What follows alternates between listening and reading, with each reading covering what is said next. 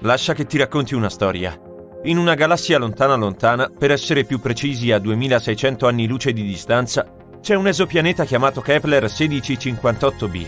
È un gigante gassoso che assomiglia al nostro Giove, ma ciò che lo differenzia da Giove è che questo povero pianeta è condannato. Sta girando a spirale verso la sua stella madre e alla fine ci sarà una violenta collisione. Ma la cosa più interessante, gli astronomi sarebbero rimasti totalmente all'oscuro di questo fatto se non fosse stato per un minuscolo indizio. È stato un cambiamento davvero minuscolo nell'orbita del pianeta. Non se ne sarebbe accorto nessuno se gli astronomi non avessero confrontato per più di un decennio i dati ricevuti da diversi telescopi. Più precisamente gli scienziati hanno osservato il passaggio di quasi Giove tra il nostro pianeta e la sua stella madre una volta ogni due settimane negli ultimi 13 anni e hanno notato che l'orbita del pianeta sta diventando sempre più piccola. Ogni anno Kepler 1658b ha bisogno di 131 millisecondi in meno per completare un giro attorno alla sua stella. Se questa tendenza continua, il pianeta è destinato a scontrarsi con la sua stella tra 2,5 milioni di anni. Anche prima di questa scoperta, i modelli computerizzati prevedevano che alcuni pianeti avrebbero potuto incontrare la loro fine schiantandosi contro le loro stelle. Ma questa è la prima volta che gli astronomi hanno una prova reale di un tale risultato, misurando cambiamenti quasi impercettibili nell'orbita di un pianeta. Ora sappiamo di per certo cosa succede quando un pianeta sta per schiantarsi contro la sua stella, anche se probabilmente non saremo in giro per testimoniarlo. Ma lascia che ti dica qualcosa in più sul pianeta condannato.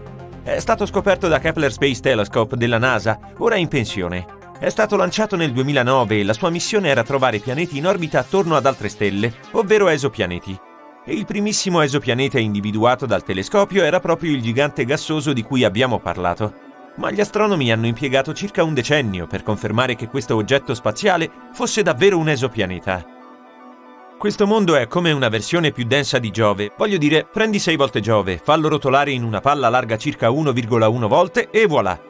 Il pianeta è legato in modo ordinato alla sua stella madre, il che significa che compie un giro completo ogni volta che termina un giro intorno alla stella. Di conseguenza lo stesso lato del gigante gassoso è sempre rivolto verso la stella. È lo stesso che succede alla Luna. Il nostro satellite naturale è bloccato in modo mareale sulla Terra, ecco perché vediamo solo metà della sua superficie. Ora, Cosa sta facendo cadere quasi Giove nella sua stella? Lo stesso processo che sta allontanando la Luna dalla Terra. Quando una Luna orbita attorno a un pianeta o un pianeta orbita attorno a una stella, le loro forze di gravità interagiscono e agiscono sulla massa dell'altro. Questo è ciò che causa le maree sulla Terra. Questo strattone rilascia un po' di energia. Può far accelerare e rallentare un oggetto. Nel primo caso un corpo spaziale si sposterà più in alto. Nel secondo inizierà a muoversi più in basso. E questo è esattamente ciò che sta accadendo al gigante gassoso. La sua stella madre è 1,5 volte la massa del Sole, quindi non c'è da stupirsi che le sue forze di marea stiano gradualmente rallentando il movimento del pianeta, facendolo cadere verso l'interno. Sembra tutto un po' tragico, ma questa potenziale collisione non è di gran lunga la cosa più strana che accade nello spazio. Diamo un'occhiata ad altro. Ad esempio, Betelgeuse, una gigante gassosa nella costellazione di Orione, ha iniziato a oscurarsi nel 2019. Questo ha confuso gli astronomi. A quel punto la stella si era già gonfiata in proporzioni enormi. Se dovesse sostituire il nostro Sole, la sua superficie esterna si estenderebbe ben oltre l'orbita di Giove. E poi Betelgeuse è diventata più debole nell'autunno del 2019. Questo processo è continuato fino a febbraio 2020. I cambiamenti potevano essere visti ad occhio nudo. Non c'è da stupirsi, la luminosità della stella era diminuita di due terzi. A quel tempo gli astronomi erano sicuri che Betelgeuse stesse per esplodere in una supernova. Hanno continuato a osservare la stella, ma inaspettatamente è tornato alla sua normale luminosità. Grazie al telescopio spaziale Hubble, gli scienziati hanno capito che la stella aveva espulso parte del suo materiale e questo ha parzialmente bloccato la sua luce.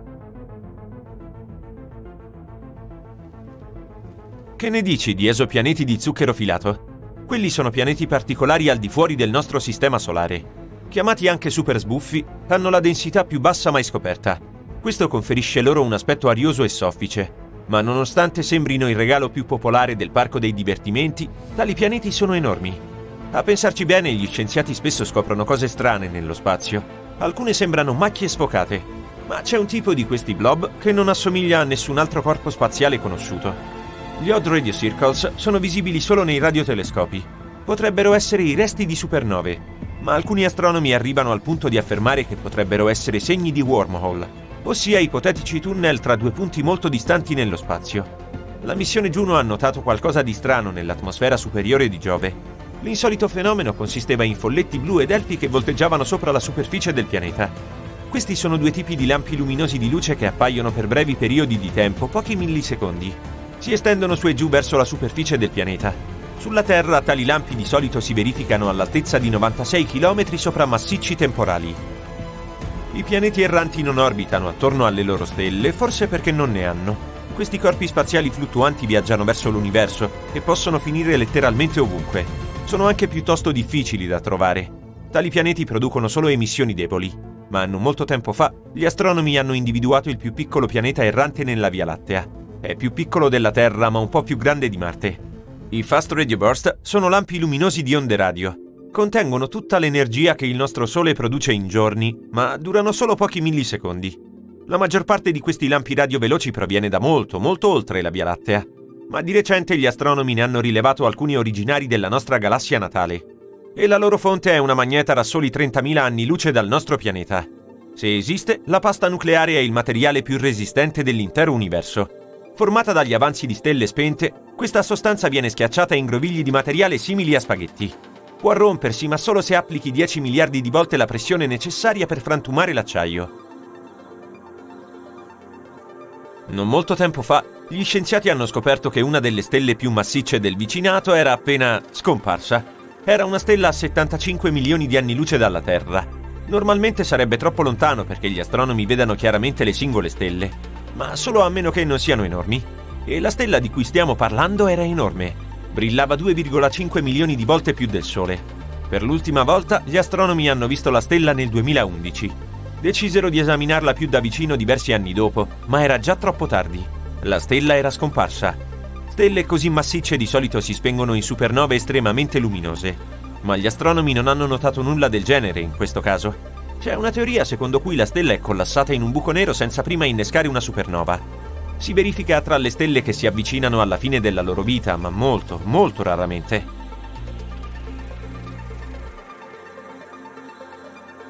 Ci sono anche i buchi neri, e potrebbero esserci mini buchi neri, anche se la loro esistenza non è stata ancora dimostrata.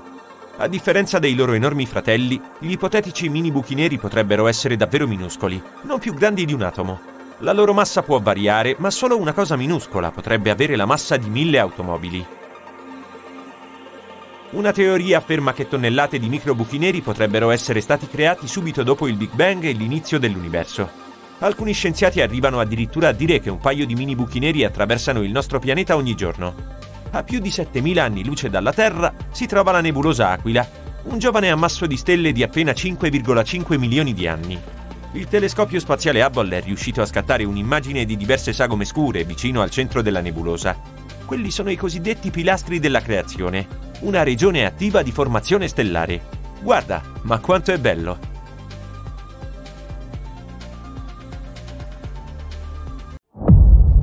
Questo è il nostro pianeta natale, la Terra, e il suo satellite, la Luna.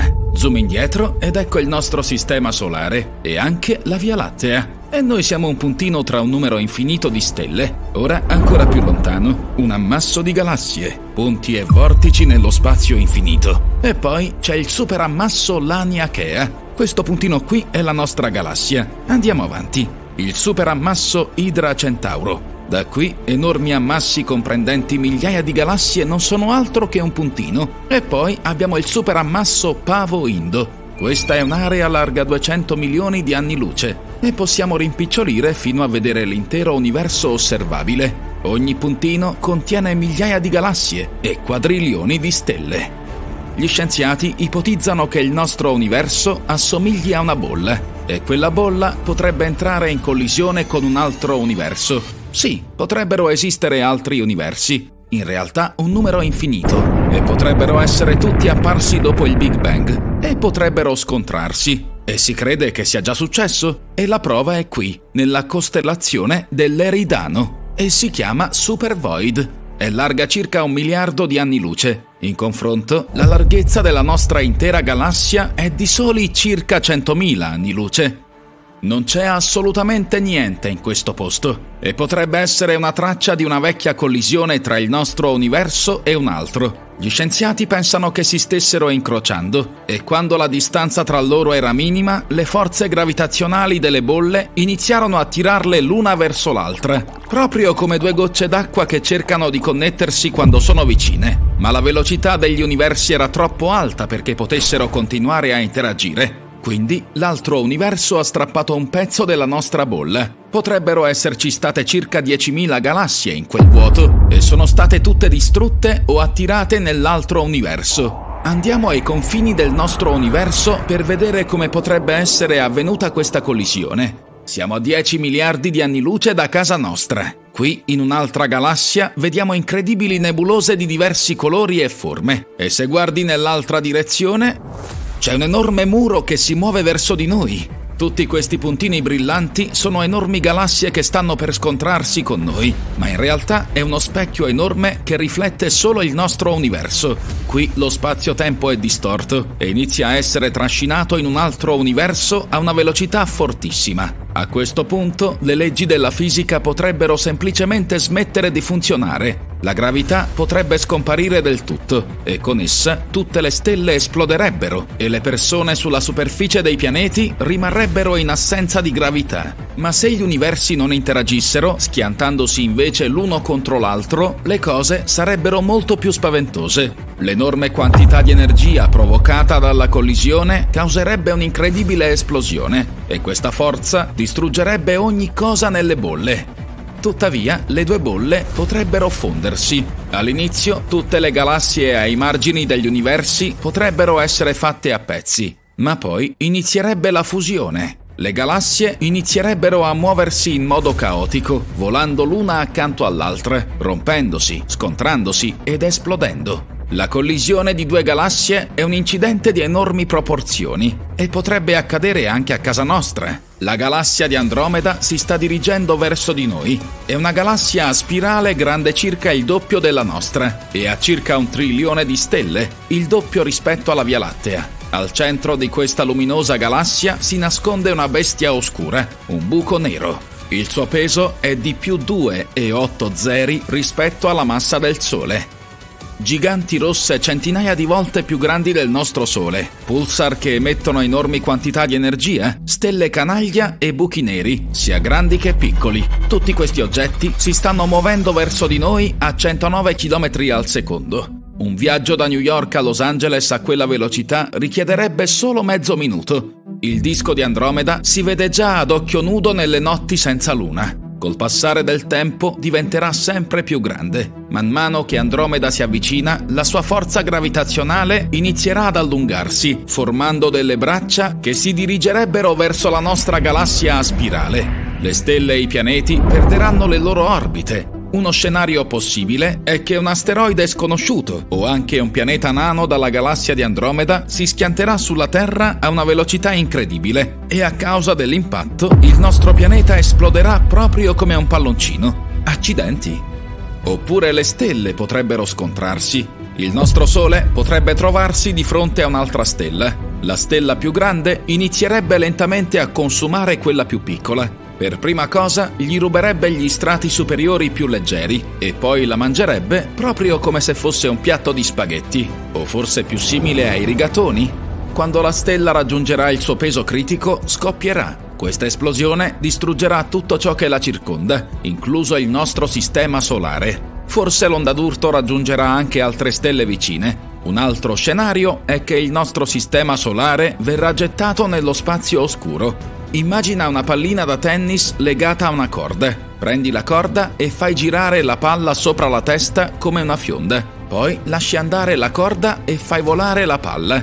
Questo è ciò che potrebbe accadere al Sole e a tutti i pianeti che lo circondano. Ci ritroveremmo in uno spazio buio e freddo, ma la vita sulla Terra non verrebbe influenzata. Avremmo ancora la nostra stella luminosa per tenerci al caldo. L'unico svantaggio è che tutte le stelle nel nostro cielo notturno scomparirebbero.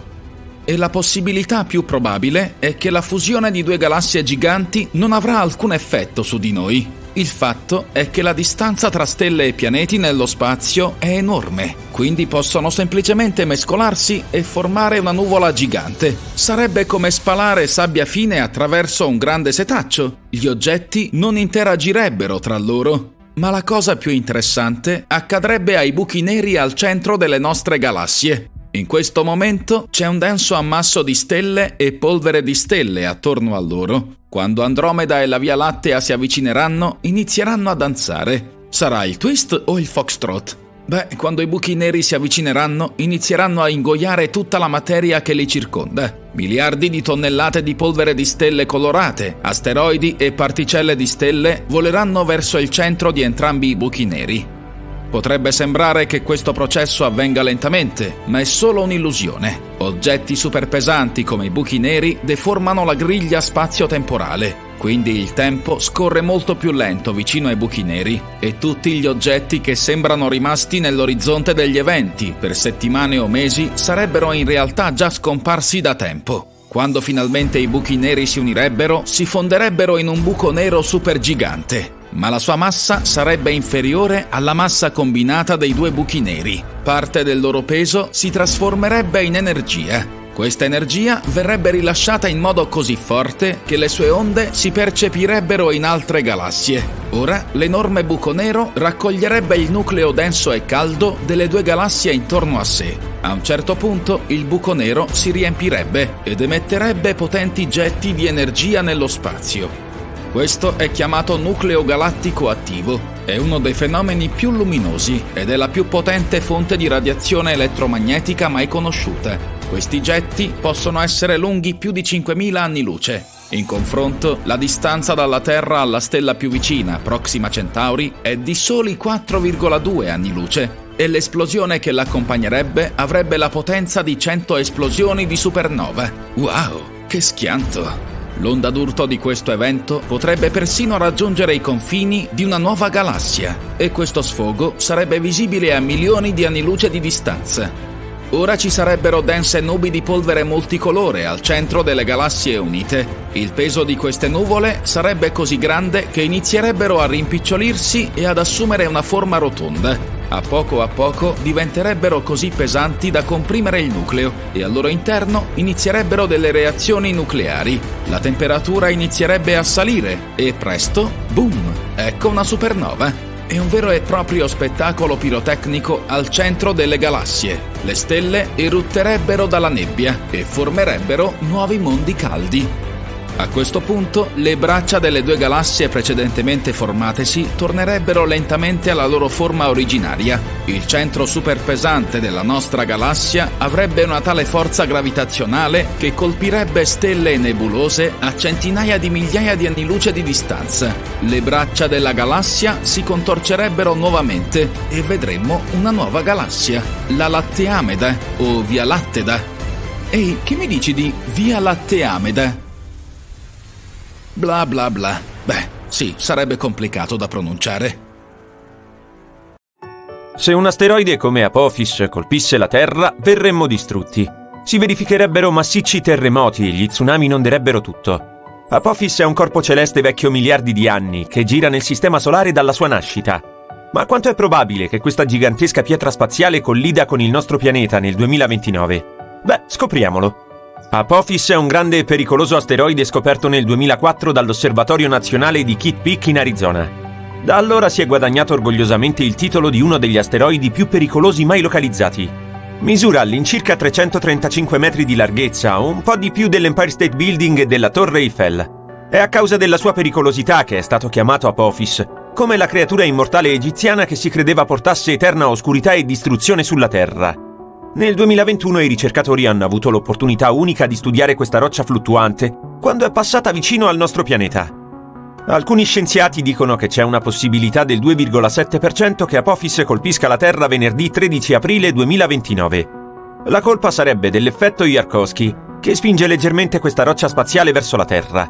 Questo effetto origina dalla non uniforme emissione di fotoni termici da parte di un oggetto celeste in rotazione, che determina poi una forza esercitata su di esso nello spazio. Questi fotoni emessi possiedono momento e giocano un ruolo fondamentale nella definizione della dinamica del corpo. L'asteroide in questione ha due lati, scuro e luminoso, come la Luna. Il lato luminoso è rivolto verso il Sole ed è più caldo del lato oscuro. Ma il nostro oggetto spaziale ruota, quindi i lati cambiano costantemente direzione e temperatura. Questo cambiamento potrebbe essere dannoso per noi, perché spinge leggermente Apophis verso la Terra. Sfortunatamente nessuno sa come l'effetto Yarkovsky influenzerà il percorso dell'asteroide. D'altra parte, durante l'ultimo passaggio dell'asteroide vicino alla Terra nel 2021, gli astronomi hanno utilizzato un radar per prendere misurazioni accurate della sua traiettoria e hanno concluso che Apophis mancherà alla Terra nel 2029 di circa 32.000 km e che poi non ci disturberà per almeno 100 anni. In generale ogni 80.000 anni il nostro pianeta viene colpito da una stella cadente di dimensioni simili a quelle di Apophis. L'ultima volta che siamo stati colpiti da un meteorite leggermente più piccolo è stata nel 2013. Un nuovo velivolo sviluppato dalla NASA chiamato Osiris-Rex è stato lanciato nel 2016 per raccogliere campioni da un altro corpo celeste, leggermente meno terrificante, chiamato Bennu. Quattro anni dopo è finalmente arrivato a destinazione. Ha raccolto alcuni campioni, salutato Bennu e iniziato il viaggio di ritorno verso la Terra. I campioni sono stati conservati in modo sicuro in una capsula lanciata nello Utah. Finora è il campione più significativo mai prelevato da un asteroide. Dopo la consegna, la navicella spaziale non ha perso tempo e ha iniziato a inseguire Apophis. Attualmente Osiris Rex è stata rinominata Osiris Apex ed è alla costante caccia di Apophis. Con un po' di fortuna, il 2 aprile 2029, quando l'asteroide sfreccerà vicino alla Terra, la navicella raggiungerà Apophis e atterrerà su di esso. Vi rimarrà per 18 mesi raccogliendo preziose informazioni e scattando migliaia di foto. L'asteroide sarà monitorato con l'aiuto di potenti telescopi. A un certo punto, però, Apophis si avvicinerà troppo al Sole e il lavoro di monitoraggio sarà esclusiva responsabilità di Osiris Apex. Se vivi in Europa, Asia occidentale o Africa, sei uno di quei fortunati che avranno l'opportunità di vedere Apophis a occhio nudo. Sarà visibile nel cielo di queste zone nel 2029 e coloro che hanno telescopi saranno in grado di individuarlo di nuovo nel 2036. Osiris Apex intanto avrà sicuramente dei problemi, perché l'asteroide ha una crosta spessa e la navicella non sarà in grado di raccogliere dati tanto facilmente come su Bennu. Osiris Apex ha un propulsore unico che soffierà via tutta la polvere da Apophis durante l'atterraggio. Sarà l'occasione perfetta per analizzare la superficie dell'asteroide e vedere di cosa è fatto. Il macchinario mapperà l'asteroide per un anno e mezzo cercando di rilevare cambiamenti nella sua forma Tutta questa ricerca ci dovrebbe mostrare come il corpo celeste si muoverà, così da poter progettare meglio i piani per proteggere la Terra da tali oggetti. Nel 2025 la NASA lancerà anche la missione Apophis Pathfinder, prima navicella spaziale mai atterrata su questo asteroide. Atterrerà approssimativamente un anno dopo il lancio. Inoltre la NASA ha proposto di inviare uno sciame di piccole navicelle nello spazio per aiutare l'umanità a sviluppare tattiche di protezione efficaci contro gli impatti di asteroidi. Sappiamo che Apophis ha avuto origine nella cintura di asteroidi tra Marte e Giove. Negli ultimi milioni di anni questo corpo celeste ha cambiato percorso a causa dell'importante influenza della gravità di Giove. Sembra che quest'ultima favorisca di più il Sole, il che significa che l'asteroide si avvicina di più al nostro pianeta. Ecco perché è classificato come corpo celeste vicino alla Terra. Sono stati condotti molti test e ricerche per trovare un modo di gestire gli asteroidi. Alcune soluzioni includono il trapanare e detonare il corpo spaziale dall'interno o testare nuove tecnologie, ad esempio attaccarvi dei razzi e cercare di deviarlo dalla Terra. Potremmo anche colpirlo con qualcosa che si muove ad alta velocità per cambiarne il corso. Apophis è un asteroide di tipo S composto da roccia e metalli come il ferro e il nickel e con la forma di una nocciolina. Ci può dire molto sul passato e forse anche sul futuro. Campionando questo oggetto spaziale potremmo scoprire come è iniziata la vita sulla Terra e come sono apparse le piante. Ci sono molte teorie che suggeriscono che l'acqua è arrivata sul nostro pianeta tramite un asteroide o una cometa, e gli asteroidi sono come preziose capsule del tempo.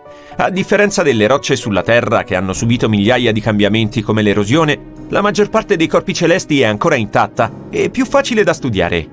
Quando i meteoriti cadono sulla Terra, si coprono di detriti che è impossibile pulire. Ecco perché è importante studiare Apophis mentre è ancora nello spazio. Inoltre alcuni asteroidi sono composti da metalli preziosi come il platino. Attualmente abbiamo una grande domanda di metalli che usiamo nella produzione e l'estrazione sulla Terra è complicata. Un solo grande meteorite potrebbe contenere ferro, nickel, oro e platino che potrebbero durare milioni di anni. Se Apophis contiene questa quantità di metalli sarebbe utile smontarlo e riportarlo sulla Terra. Un solo meteorite potrebbe valere milioni di miliardi di dollari, rendendo l'estrazione spaziale altamente redditizia. Eppure ci costerebbe di più riportarlo sulla Terra che non scavare questi materiali qui. Man mano che la tecnologia progredisce e vengono sviluppati nuovi tipi di razzi, però, ciò potrebbe diventare possibile. Anche se siamo al sicuro per i prossimi 100 anni, probabilmente vorrai ancora vedere cosa succederebbe se un oggetto come Apophis ci colpisse. Beh, prima lascia che ti dica che sentirai il suono della collisione e saprai cos'è successo anche se sei a chilometri di distanza. Dovresti lasciare subito la tua casa o il tuo appartamento. Poco dopo l'impatto ci saranno enormi terremoti e molti edifici alti crolleranno. Quindi stare lontano dalle città potrebbe essere la tua migliore opzione se ne hai la possibilità. Ma non scappare in auto. Ci saranno enormi ingorghi stradali, tutti andranno nel panico. Andare a piedi o in bicicletta è la tua migliore opzione in questo scenario. Un ottimo mezzo di trasporto sarà l'aereo, quindi se hai sempre desiderato prendere la licenza di pilota, ora hai una buona scusa. Se hai tempo porta con te snack, acqua e un paio di calzini in più. È bello vivere vicino all'oceano o al mare, ma in questo caso è il peggior posto in cui essere, perché enormi onde di tsunami colpiranno le coste dopo l'impatto. Se vivi lontano dalla zona, lo tsunami potrebbe impiegare 30 ore circa per arrivare. Avrai un po' di tempo per prepararti.